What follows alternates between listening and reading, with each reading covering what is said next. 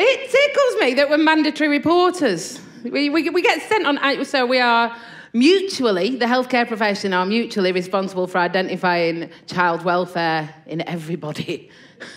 and we, we, yeah, you wouldn't want to be raised by us. Do you know? Like, we go on these annual updates where they go, uh, okay, so we're going to give you some scenarios and you tell us how worried you are about the children involved.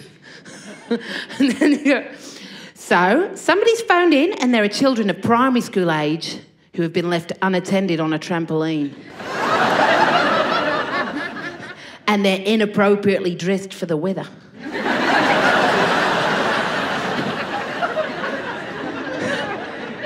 the mother is only ever seen when she shouts at the children. And the bin is full of empty alcohol bottles. How worried are we? I'm like, I'm worried that you've been to my house.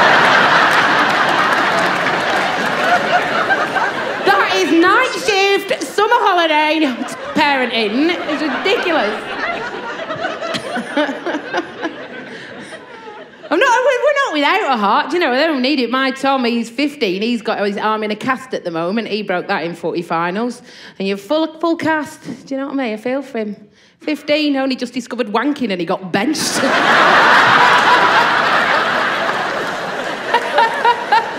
oh, he's a very angry boy at the minute. Some things I can't help you with, son.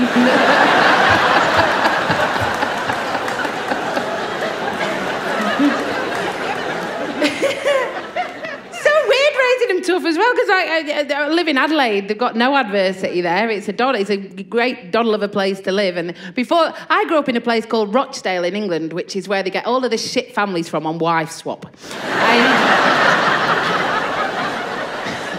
Do you know in Adelaide, they're still in primary school when they're 13?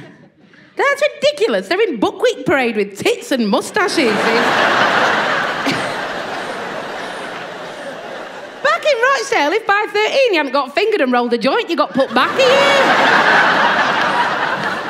so you caught up with everybody.